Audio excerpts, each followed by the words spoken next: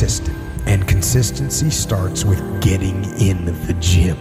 How can I work out consistently every day? Work out consistently every day. If you are tired or sore or burned out, don't just give up completely. Go to the gym and stretch. Move. Do some light exercises, but keep the routine in place. Push yourself, but do so in a measured way so you can avoid burnout, overtraining, and injury. Use the workouts as a guide.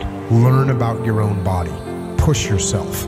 Most important, be consistent. Too often, people take a day off. Then that turns into two, and two into three. And then they have gone a week without getting in a good workout. So maintain the routine, maintain the discipline. You are now on track. Do it every day.